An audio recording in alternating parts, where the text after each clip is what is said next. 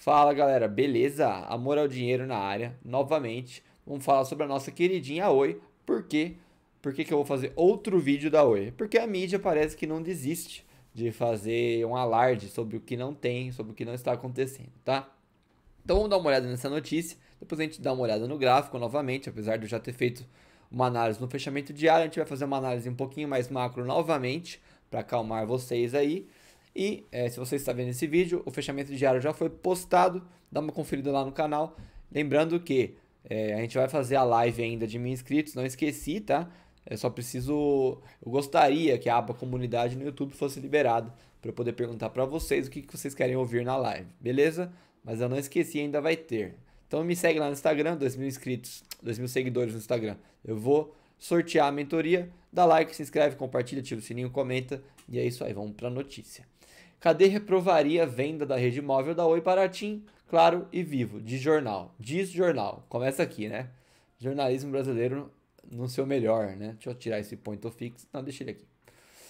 Há grandes chances de o Conselho Administrativo de Defesa Econômica, o KD, de reprovar a compra da rede móvel da Oi pelo consórcio formado pelas rivais TIM, Claro e Vivo, segundo técnicos da autarquia ouvidos pelo jornal O Globo. O órgão ficaria preocupado com os efeitos na concorrência se a operação for concretizada. Já tem, já tá tudo errado aqui, ó. Já tá errado o português, tá? Então já, já perde um pouco de credibilidade aí, Investing tá caindo aí na, na, na onda de fazer mídia contra Oi, tá? Diferentemente se a venda for a uma empresa entrante no mercado. As ações da Oi têm forte queda na B3. Eh, só voltando aqui rapidinho, galera. É óbvio, né? A gente já tem um monopólio e um cartel de telecomunicação aqui no Brasil. Se for diminuir uma e ficar só três, o negócio vai piorar, é lógico, né, galera? Você tem que abrir o mercado para deixar mais concorrente vir. Então é óbvio que se a Highline vier aí comprar, vai ser mais positivo para o consumidor, para o final, para o brasileiro, tá? As ações da Oi têm forte queda na B3, com os papéis ordinários, ou EBR3, com maior volume de negócios, são negociados com baixa de 6,17 a 1,52. Tá? Enquanto os preferenciais. Blá, blá, mas isso aqui não importa. A gente já viu que teve queda. A possibilidade de reprovação não seria a única dificuldade na operação. Caso a Oi aceite a proposta das concorrentes, a avaliação do KD poderia demorar até um ano devido à complexidade do assunto. A gente já sabe disso, isso aqui já foi é, informado. Não, isso aqui não é notícia má, tá? Isso aqui não é notícia negativa. Isso aqui é mídia querendo fazer alarde para derrubar o preço da ação e tá funcionando, tá? O prazo do KD para avaliar casos de concentração é de 240 dias prorrogáveis por mais 90, ou seja, basicamente um ano, tá? Quase um ano, 11 meses. Por outro lado, a venda da rede móvel da Oi, que tem 34 milhões de clientes, para uma empresa entrante no mercado levaria a uma análise mais rápida pela autarquia, pois traria menos problemas de concorrência. Ou seja, a gente tem um órgão que regula reclamando de monopólio. Olha que é, hipocrisia e incoerência, né? que ironia. Mas enfim. A Highline da gestora americana Digital Colony participa do certame e eh, eu não sei se é assim que se fala, tá, galera? Se alguém tá ouvindo aí, tá sabendo que eu estou falando errado, comenta aí que é, conhecimento nunca é demais e admitir o erro também não, tá? E tinha exclusividade das negociações até ontem à noite, com uma proposta abaixo do consórcio das três rivais da Oi, mas acima do preço mínimo de 15 bilhões, estipulado pela Tele na venda de suas operações. A oferta de TIM, Claro e Vivo é de 16,1 bilhões. Mais um erro da matéria. Olha só que matéria mal é, escrita, mal produzida, mal revisada, mal editada, tá? E você já vai ver como a própria matéria se discorda, tá? A definição do vencedor deve ficar para o dia da Assembleia de Credores da empresa, que deve ocorrer ainda em agosto, exato. Desistência ou não? A desistência da Highline do certame chegou a ser divulgada no final da semana passada, mas a empresa controlada pela Digital Color não cobriu a proposta do consórcio entre TIM, Vivo e Claro. A edição de segunda do Valor Econômico destacou que até a noite de domingo, a Highline do Brasil ainda estava em negociação com a Oi, uma vez que o prazo do contrato de exclusividade se encerra ontem. Uma das fontes que acompanha as conversas disse ao jornal que não existia a desistência da Highline. Ah, não diga, né? Aquele Lauro Jardim fez aquele fake news e a gente já desmascarou aqui no canal, se você não viu. Confere nos vídeos da Oi, eu até criei uma playlist para ajudar quem quiser se informar sobre a Oi, então dá uma conferida aí. A única mudança seria que, com o final do prazo de exclusividade, a Oi poderia negociar com o consórcio.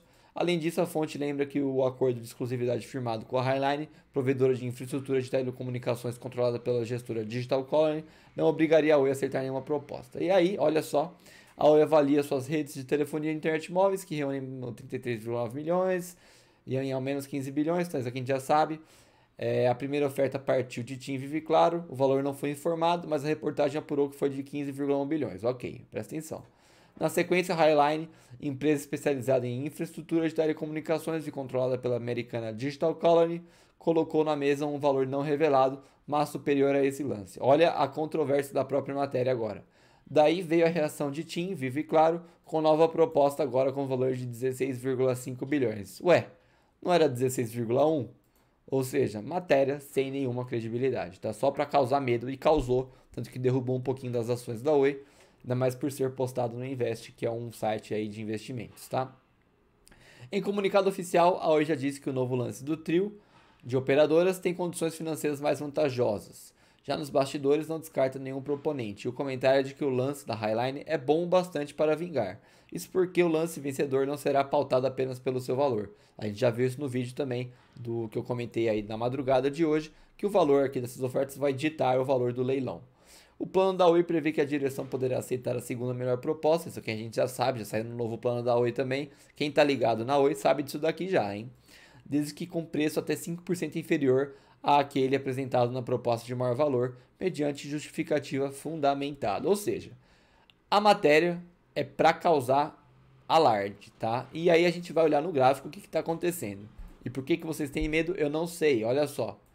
A gente tem uma ação que estava lá no 60, a gente tem uma ação que está subindo, respeitando essa projeção de Fibonacci diagonal.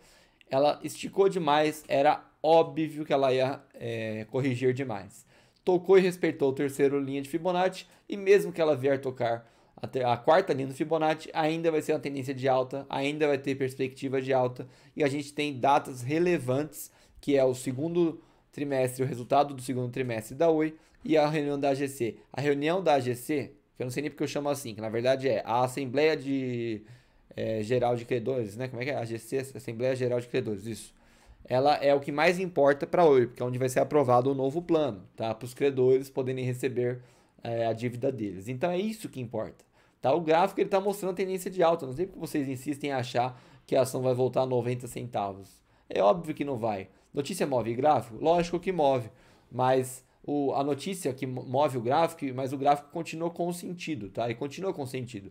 Moveu hoje e continua com sentido. A gente tem topos e fundos ainda ascendentes não tem nada de, de novo aí. Então é mais uma matéria para alarmar o coitado do investidor que está desesperado e comprou topo.